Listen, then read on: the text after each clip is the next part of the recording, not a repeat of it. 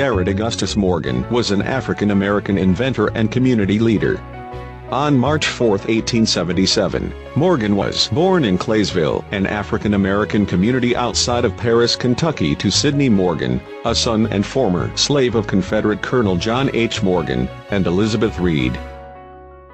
Possessing a sixth-grade education from Branch Elementary School in Claysville, Morgan moved at the age of 16 to Cincinnati, Ohio in search of employment.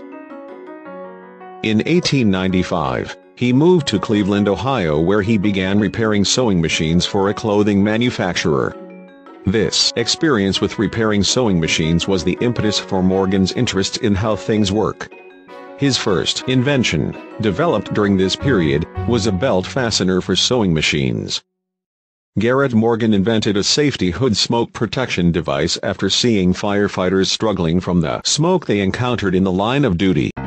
He was the subject of a newspaper feature in Cleveland, Ohio for a heroic rescue in 1916 of workers trapped within a water intake tunnel 50 feet beneath Lake Erie.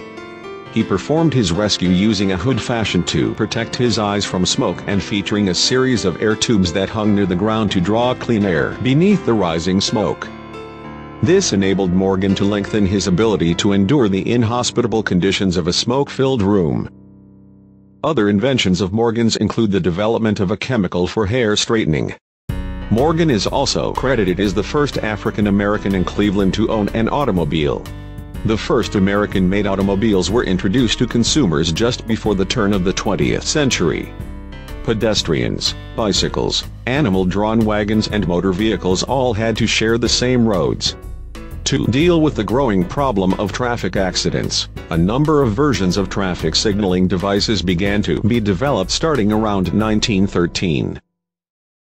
Morgan had witnessed a serious accident at an intersection, and he filed a patent for a traffic control device having a third warning position in 1922.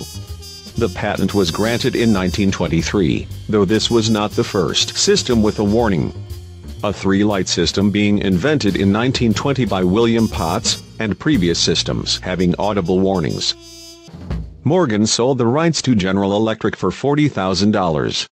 He died on July 27, 1963 at the age of 86, and is buried at Lakeview Cemetery in Cleveland.